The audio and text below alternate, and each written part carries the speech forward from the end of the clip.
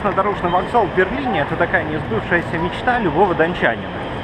Но вот только если в Донецком вокзале всегда казалось, что пустого пространства, но очень-очень много, то здесь понимаешь, что рачительные немцы не любят пустоту и бестолковость. Все использовано по максимуму. И вот здесь вокзал совмещен с огромным Здесь вокзал совмещен с огромным торговым центром. Вот только что просто внезапно остановился эскалатор. И потому мне пришлось сделать небольшую паузу в записи.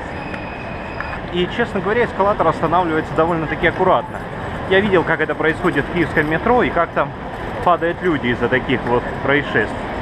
Но здесь все было мирно, он остановился очень-очень аккуратно, примерно так же тормозит BMW или Mercedes. Конечно, и здесь хватает проблем, и здесь находятся люди, которые приехали откуда-то и бросают мусор на пол. Здесь вот представлены разные национальности.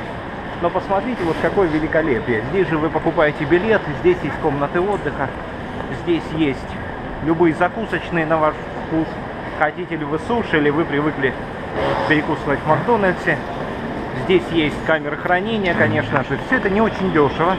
Здесь же над вами, под вами едут поезда, хорошая навигация, тут же все пишется, показывается. В общем-то, все работает как такие вот хорошие часы. Но самое главное, вот посмотрите вокруг, что нет впечатления, что ты на вокзале. Нет этого ужасного вокзального запаха. Нет каких-то бродяг, хотя они много встречаются в Берлине. Но есть ощущение какого-то торгового центра, где просто вот есть поезда. Вокзалов в Берлине несколько, мы сейчас на центральном, на главном.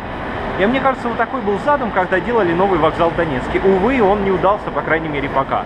Увы, наверное, многому помешали коммерческие просчеты и кое-чему помешала война. Но я верю, что все еще может получиться. И, по крайней мере, есть на что равняться. И, по крайней мере, вот этот вот берлинский вокзал вполне можно взять за такую вот действующую, настоящую, опробованную модель.